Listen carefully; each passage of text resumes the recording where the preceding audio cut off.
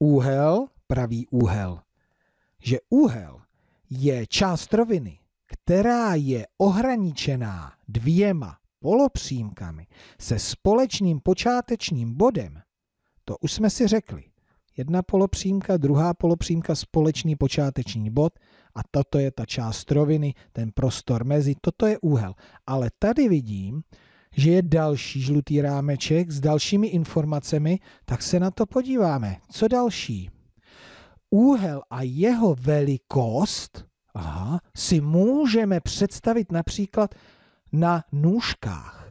Čím více nůžky rozevřeme, tím větší úhel svírají. Takže jsem zvědavý na ty nůžky, abych si představil, jak může se zvětšovat nebo zmenšovat ten úhel. Aha, tohle jsou ty dvě polopřímky a tohle je ten prostor, ta část roviny, takže už to vidím. Úhel může mít svoji velikost. Co je tady dál? Úhel při nákresu nebo při rýsování označíme obloučkem. No to je pravda, měli bychom ho nějakým způsobem označit. Takže polopřímky a tohle je úhel, který nás zrovna tady zajímá. Toto je úhel, který nás zajímá. Úhel se zvětšuje a pozor, oblouček tam je a tam byla ještě tečka. Hm, to je zajímavé. A ty úhly mohou být různě veliké. Až takhle veliký úhel. Bez... No ale to mně přijde, že tady na druhé straně Tady vám to ukážu, že tady je ještě také jeden úhel, no ale to nevadí, někdy příště. Úhly mohou být různě velké, no to jsem tady na, předtím viděl. Důležitý je pro nás pravý úhel, který značíme obloučkem s tečkou. No mně bylo divný, že tam jeden úhel má tu tečku, tak ten bude nějaký důležitější. Říkáme mu pravý úhel. A jak vypadá?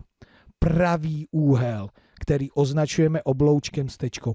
Aha, no s tím už jsem se setkal. U čtverce nebo, ano, u obdelníka. Tady. Obdelník má čtyři stejně velké úhly a teď už vím, že jsou to pravé úhly. I u čtverce to tak je. Podívejte se ještě kolem sebe, jestli někde nevidíte pravé úhly. S pravým úhlem se setkáváme například při konstrukci čtverce a obdelníku. Ano, to jsem říkal. Takže úhel může mít svou velikost. Jak se mění velikost úhlu, to si můžu ukázat na nůžkách. Tady jsou naznačené, úhel označujeme tím obloučkem a speciální úhel, který je nejdůležitější nebo hodně důležitý, ještě označujeme tečkou a to je pravý úhel a pravé úhly najdeme u čtverců a nebo u obdelníků. Bezvadný. Tak teď už mám představu o úhlech a dokonce už vím, jak vypadá pravý úhel. Najdete pravý úhel vedle sebe, kolem sebe? Zkuste to.